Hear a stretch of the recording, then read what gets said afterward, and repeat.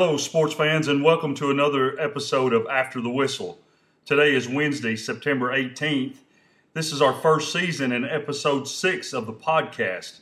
On today's show, we're going to recap the Kingston Yellow Jackets' victory over the Rockwood Tigers, 28 to 14. We have a special guest, junior starting linebacker and special teams great, number nine, Landon Diggs. This kid is having a phenomenal season for the Yellow Jackets, and we're excited to have him on the show. We will also do a recap of the UT Vols victory over UTC last Saturday, 45 to rip.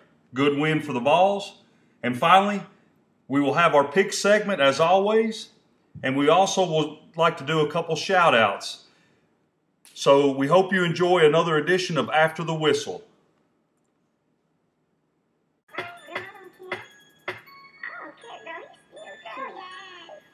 In this party and these girls looking at me. Skinny jeans on and you know my head now. Hey, hey, hey, hey, okay, okay. I want y'all to do this dance now. Juju on that beat, juju on that beat. Welcome back to After the Whistle. I'm your co-host Jody Mioduski alongside Brad Luttrell, Jeff Huffman. I'd like to recap the high school games from week four. Wartburg defeated Oakdale 47 to nothing. It was Sullivan Central all over Pigeon Forge 32 to 6. Monterey defeated Harriman 34 to 7. It was Midway handing Cosby their third loss of the season. They win big 50 to 7. Loudon continues to roll. They beat Sequoyah 56 to 7. Austin East defeated Fulton last Friday night 70 to 36. Huge game by the foster kid from Austin East that we'll talk about a little later. Oak Ridge defeated Farragut 21 to 14, and it was Gatlinburg Pittman. They continued to roll. They're 4 0 on the season. They beat Cocke County 59 to 7. And guys, we're going to.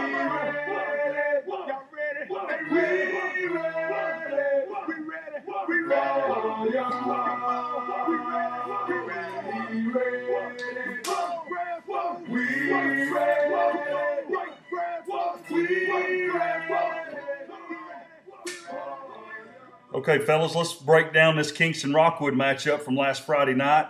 Kingston travels to Rockwood and gets the victory 28 14. Brad, let's talk a little bit about the defensive play of Kingston. Yeah, Jerry, like you said, big win for Kingston, 28-14 over Rockwood. Anytime you can beat a county rival, it's a big win. Um, offense and defense kind of got off to a slow start, but uh, the defense allowed the freshman kid for Rockwood, the Waldo kid, to get outside for about a 60-yard touchdown. But after that, I thought the defense really clamped down. Uh, Trey Schultz and Landon Diggs had eight tackles apiece. And overall, just a really good effort by the defense. Uh, Rockwood's only other score was off a pick six, so got to give a lot of credit to the defense overall. And uh, Huff, the offense started kind of slow, but really picked it up in the second half and led us to the victory. Yeah, Brad, you're right. Uh, anytime you can go to Rockwood and get a win, uh, it's always big for Kingston, and that was nice to see them go Friday night and get get the win. Um, like you said, the offense um, started off a little slow, a little sloppy at times, overcame some turnovers uh, early in the game, uh, but was able to score 28 points, get the win. They rode the back of Elijah Hill, who had a big night with 120 yards and two touchdowns, and also late in the game, Hunter Brackett with a big 20-yard touchdown run to put Kingston up 21-14 and actually seal the, put the game away. Kingston had another touchdown late, but uh, that was the uh, icing on the cake to, for a 28-14 win this past Yeah, Friday. Hunter- Hunter's run, well, that was a really big play in the game. And also, uh, I thought the biggest play of the game was Marcus Rose's kickoff return to start the second half. Uh, Rockwood had a lot of momentum going into halftime with that pick six, and guys, that, that kickoff return just swung the momentum right back around to Kingston and really turned the game around, Jody. Yeah, it did, and, and you saw them coming off the field. Brad, you and I were there, and and they a few of them had their heads down Yeah, going in did.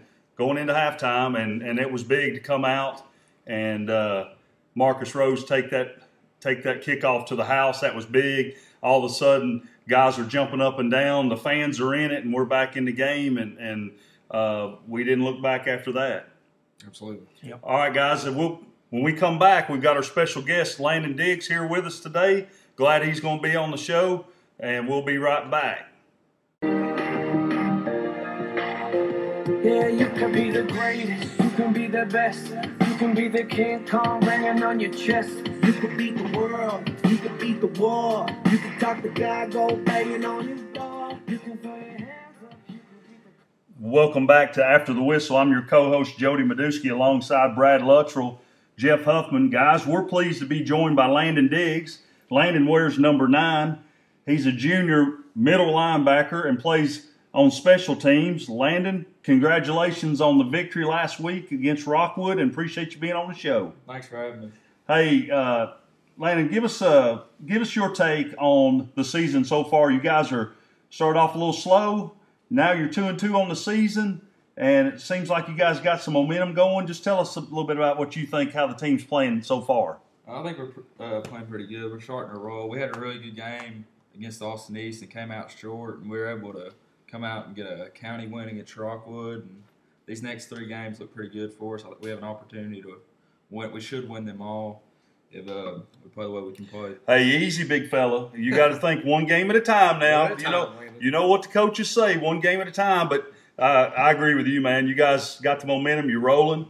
Uh, Brad, you got a couple questions for Landon? Yeah, Landon, uh, you're having a tremendous year. This is your junior year at the middle linebacker spot. Talk about uh, how you think you've played and the other linebackers, Braden Wright and uh, Preston Quiet, the transfer from Loudon.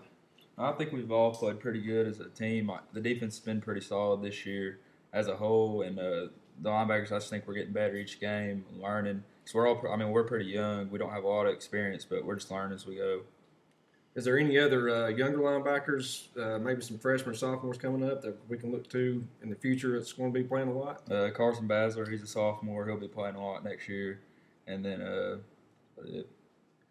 right, uh, I got to ask you this: Have you have you tried to get Coach Panky to let you come in on short yardage or goal line on offense, get a few carries, get a few touchdowns? You try to get, get Coach Panky to let you do that? I don't, I don't make any decisions on any of that stuff. I just let the coaches uh, make those. Oh, that's a good answer. Good answer. Huff. All right, Landon. So far, a good season. Congratulations on the win Friday night. Um, this week you got Northview as uh, one of the leaders of defense. I know you've had a chance to look at some film with Northview. So, what's the keys Friday night for Kingston this week to come out with a win? Uh, their quarterback, he's probably one of their best offensive players. He's pretty uh, athletic and he's fast. He can run the ball a little bit. He doesn't throw it bad either. Uh, I feel like if we can contain him and prevent him from getting outside on us, should be uh, should, we should be in pretty good shape. All right, that sounds good. Good luck Friday night. And Landon, before before you get out of here, I know you're a big Cowboys fan. Now I just want to go ahead and let you know this week that Sunday that my Dolphins are going to go to Dallas and shock the world. So I'm just going to let you know up front that that's going to happen. Just so, just let you know on Hey, Sunday. you wanna Just put be ready little- for it. Huff, you want to put a little friendly wager on that or what? Uh, not a chance. Well, Landon, man, we appreciate that. And uh, hey, I wanted to let you know too. I did a little research this week, and I went back to the archives way back when your dad was a junior and played football in high school, and I was told that he was nowhere near as good as you are at this time. So I just want to let you know that I had several of my resources verify that for me and, and say that. So. is that true, Landon? I don't know. I, I had to get it from somewhere. Well, man, thanks for being with us, man. We appreciate you, man. Go out there, take care of business Friday night against Northview. Shouldn't be no problem. Take care of yourself. Don't get hurt, and come back with about 25 tackles. All right, we'll do.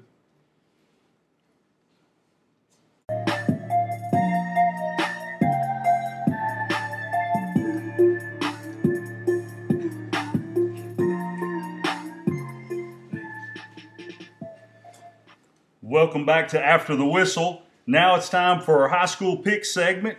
We've got a host of high school athletes here with us tonight. Will Mioduski did well. Uh, good job on getting you buddies to show up tonight. They, they come up strong tonight. Thank you. A uh, lead us off tonight. Uh, Kingston plays Northview Friday night, and uh, give us your pick.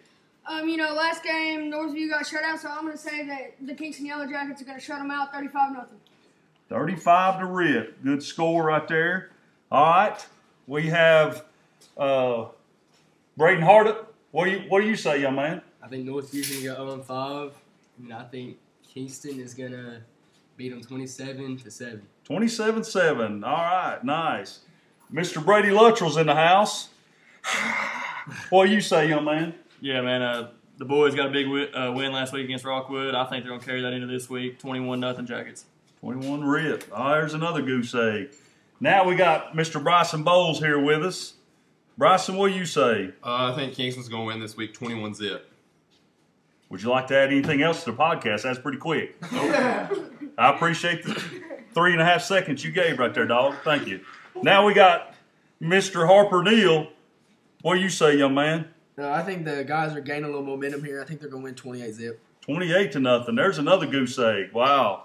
Uh, Braden Hardup's the only one out of the bunch that's give Northview a little love. We got Mr. James Curry in here, man. What do you think? Uh, I'm I'm thinking uh, Kingston gonna come out on top 28-7 because they're coming off a, a huge win against Rockwood. I know they got momentum going. That locker room's probably fired up. So I got I got Kingston 27. Hey, great insight right there. Is that everybody? My goodness, guys, uh, get back in here, Brad Huffman. Let's talk about it a little bit. What do you think, Brad? Well, I think the Jackets, the momentum they've had the last couple of weeks, I think they're going to keep it going. Uh, I'll give Northview one score. I'm going to say Kingston 34, Northview 6. All right. What about you, Huffman? I think Kingston they're go- is going to use the momentum from Friday night. I think they're going to take care of business in a big way Friday. It's Jackets 42, Cougars 0. Wow, guys. Good takes right there. That's like five zeros on the board. I'm going to follow suit. Uh, Kingston's playing well. Um, as long as they keep rolling, keep playing like they have been last couple games, I don't see Northview doing a whole lot. I'd say uh, Kingston wins this game 45 nothing. Guys, when we come back, we're going to talk the UT UTC game from last Saturday and look ahead to the Florida Gators this week.